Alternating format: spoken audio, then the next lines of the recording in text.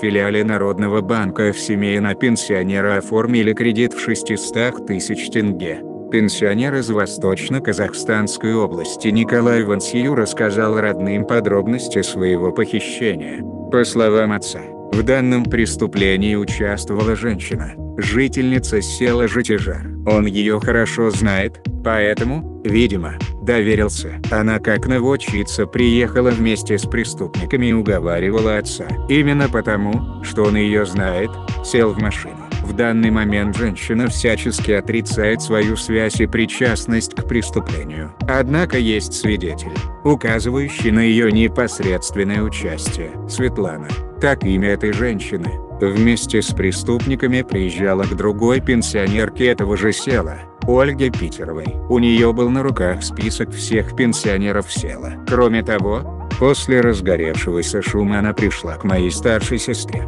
больной онкологией предпоследней стадии, и угрожала жизни и здоровью. Почему преступница на свободе? Почему не забрали ее в изолятор для следственных действий? Сказала в телефонном разговоре дочь пострадавшего пенсионера Ульяна Нурланова. По ее словам, отца могли дезориентировать путем дачи ему психотропных веществ. Отца вывезли путем угроз, дали выпить ему напиток якобы для утоления жажды, после чего он стал податливым. Возможно, что-то подсыпали туда. После его возвращения никто не провел медицинского освидетельствования, на котором настаивали его дети и родные. Почему полиция не производит очень важное действие? Также мы не исключаем, что был замешан сотрудник филиала Народного банка в городе Семея. Преступники привезли нашего отца за полчаса до закрытия, то есть в 17.30. Преступник взял талон и завел отца в отдельный кабинет, где сидел сотрудник банка.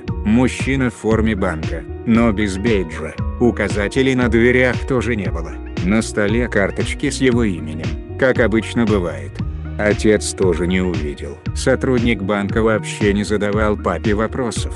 Работал только с преступником. Его заставили подписать документы. А после подписания вывезли в неизвестную квартиру в новостройке и там удерживали до утра, забрав телефон. И снова угрожали. Утром они вернулись в это же отделение банка.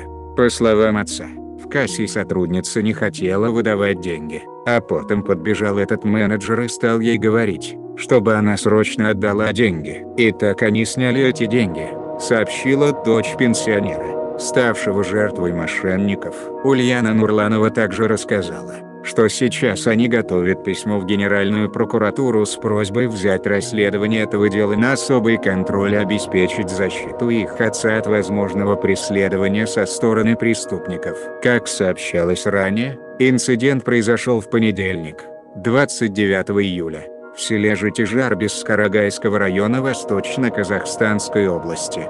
69-летнего Николая Вансию, который в советское время работал директором сельской нефтебазы, а сейчас находится на заслуженном отдыхе, увезли в неизвестном направлении. В этот момент дома с ним была только десятилетняя внучка. После инцидента девочка побежала на другой край села, где живет старшая дочь Вансию Елизавета и рассказала о визите неизвестных и похищении дедушки. На этом у нас все. Кому понравилось ставим лайк. Подписываемся на канал. Жмем на колокол, чтоб не пропустить новое видео. Всем пока-пока.